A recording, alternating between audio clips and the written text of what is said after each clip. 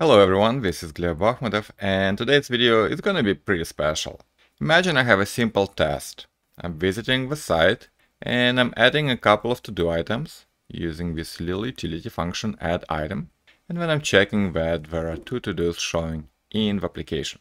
Okay, that's uh, so simple, right? It should work all the time. Let's look at the application. The test is already running right here. Notice it passed. Unfortunately, it only passes if we remove all the items before we run the test again.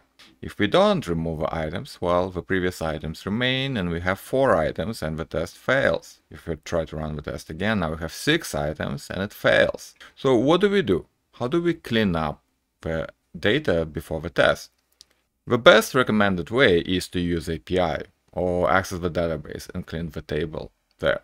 But sometimes it's unavailable and you have to use the user interface to, if there are items, find all the destroy buttons and click on them.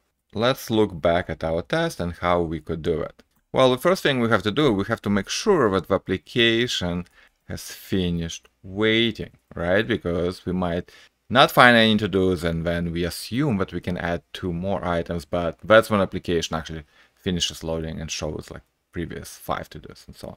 So this is where we will have to get the items and they might not exist yet. And this is where we will disable the built-in existence assertion. So get by default tries to wait for items to be there and we say, okay, they might not be there. Just give me what you have. And so now we get the jQuery down with zero or several items. And if we look at those to-dos, this is now where we have to write ourselves if-else condition.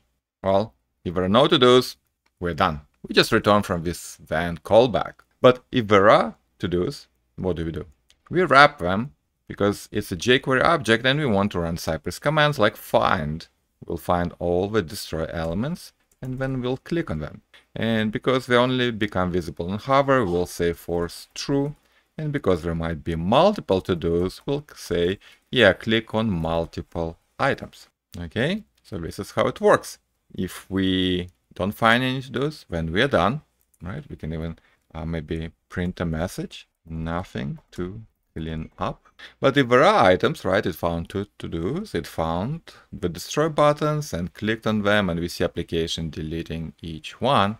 And we want to confirm that there are no to-dos after we finished this. Should have length zero is a good condition. Okay. So this is how it works when we have two items if we have no items and we run it when it just says nothing to clean up and so on. Now to me that doesn't look too bad. It's a conditional but inside that then all we have to remember is that we have to disable the built-in assertion that the elements should exist that Cypress has inside the querying commands. Unfortunately other people disagree and sometimes I'm getting very angry comments on my videos like this person does. Like, seriously, this code should be about four or five lines long, but you never find it. And Cypress, you know, documentation is horrible, right? Now, I understand you're upset, you don't know how to do something, it's very frustrating. So how about in this video I'll show how to do if-else condition logic in Cypress, not using four or five lines of code. But using one command, like one line, that's it, that's all you have to do. Will this make you happy? I think it will. And honestly, your code and your test should be deterministic, but sometimes you're like, okay, I have this pop-up that sometimes comes in and I just need to close it. That's it. I don't want to even find out how to control it. So I looked around and I wrote Cypress if. And it's easier to just see it in action. So I'll go back to my VS Code and I'll install I'll install Cypress if as a dev dependency and all I have to do in my support or even in a spec file that wants to use it is just import Cypress if.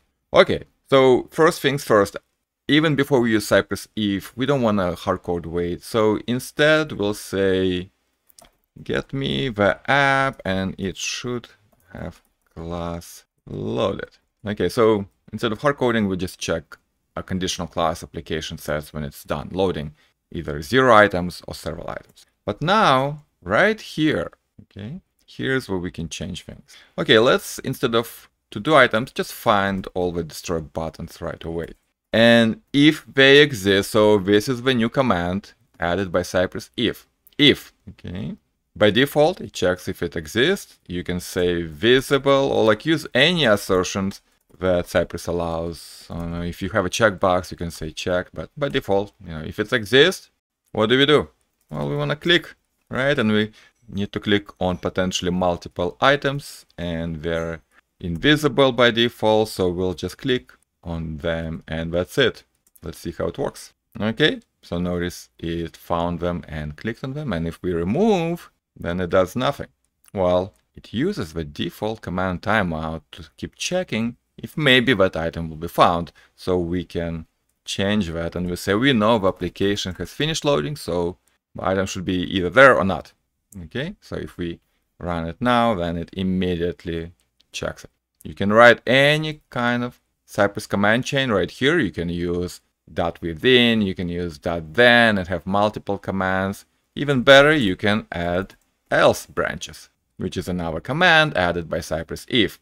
Okay, so if there are no destroy buttons, then we can say nothing to clean up.